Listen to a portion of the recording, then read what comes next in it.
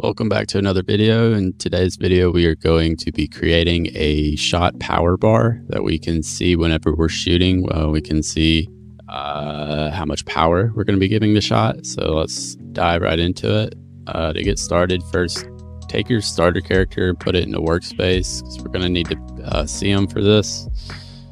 Um, okay, so open up the starter character, go to the humanoid root part and we're going to add first an attachment and position it to be, I don't know, like here. Well, I'm going to rename it shot bar attachment. going to make the transparency of it. Can you make the transparency different for the attachment? Oh, visible.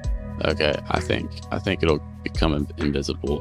Uh, let's see. Uh, so we need we need a billboard GUI, and in that GUI, we need a frame, and we need to set this frame, the anchor point of it, we need to set uh, to 0.5, 0.5, position, 5, 0.5, size. All right, and then we need to, well, first let's add a UI corner, and let's add a stroke. Uh, let's take the stroke out. Now let's duplicate this frame, put it inside the other, call it fill, BG for background, change the background color. Uh, we'll do, do black and fill, we want to do green. And so now what we will be adjusting is the size of this X right here. See if we put it at 0.5, uh, we need to do it different because we need to make the anchor point we need to make the anchor point be zero and we need to make the position of it zero on the X. There we go.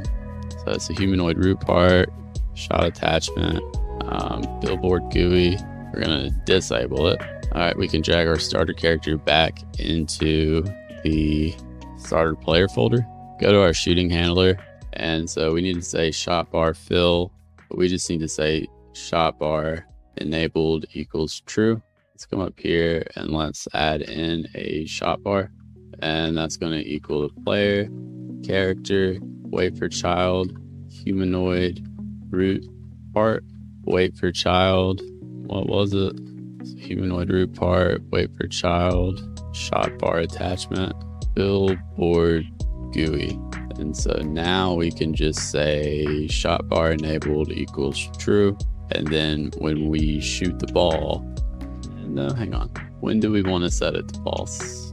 I think right here, we'll say shot bar enabled equals false. But here we will say we need to also get the shot bar fill. So we'll say local shot bar fill equals shot bar wait for child. I think it's BG wait for child fill. And so down here, we will say shot bar fill dot size equals udim2 new shot timer. Yeah, I think that'll do it. Let's test it out. Beautiful. Uh, well, yep, that's working. So that concludes this video. I will see you guys in the next one.